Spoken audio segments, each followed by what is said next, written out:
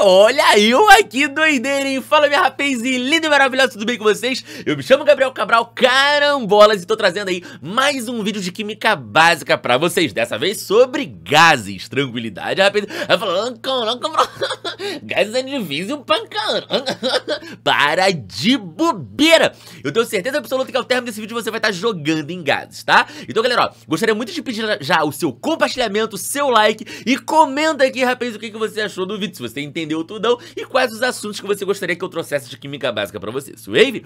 Sem mais delongas, então vamos ler juntos a questão. Ela fala assim, ó.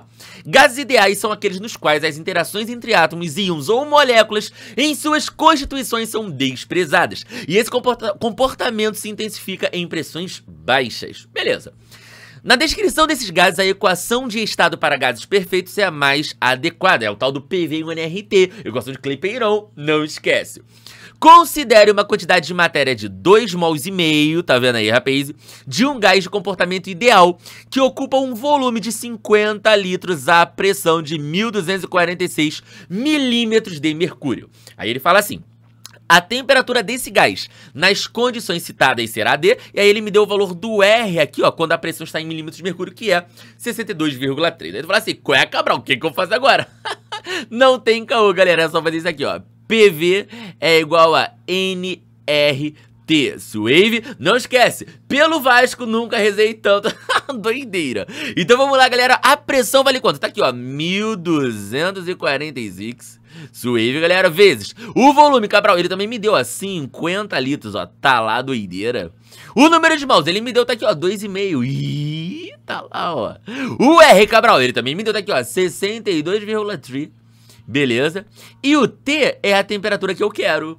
Tranquilidade, minha rapaz. Então essa minha conta vai ficar assim, rapaz, ó, a temperatura. Vou pegar toda essa coisa feia aqui, vou passar lá pro outro lado dividindo. Aí vai ficar assim, minha rapaz, ó.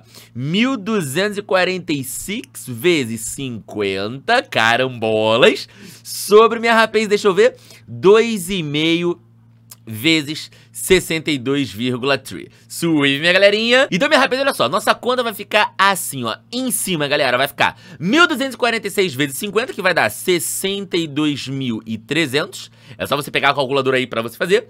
Dividido por 2,5 vezes 62,3, que eu vou deixar desse jeito, minha rapaz, ó, 2,5 vezes 62,3. Eu sou malandro, joga.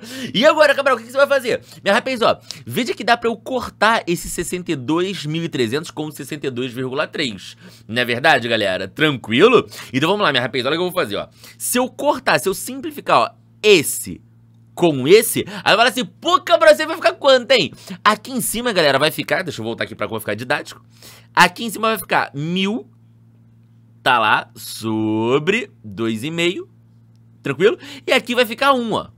Pronto. E aí a minha conta agora ficou muito de boa, galera. Ficou mil dividido por 2,5. Ah, qual foi, né, Cabral? Já sei. Isso aqui vai dar, então, 400 Kelvin. Suave, galera. Aí tu fala assim, Cabral, tem isso aí? Tem, ó, tá aqui, ó, letra A de love, que é amor em inglês, o que o Cabralzinho sente por vocês, minha rapaz. E aí, curtiu? Entendeu? Tá jogando? Se você tá jogando, moleque, eu tô feliz demais, rapaz. E comenta aqui quais são os outros assuntos que você gostaria que eu trouxesse pra vocês de Química Básica. E compartilha esse vídeo pra geral, suave, galera. E eu conto também com o seu like, hein? Ó, um beijo no seu coração, é nóis. Valeu, minha rapaz.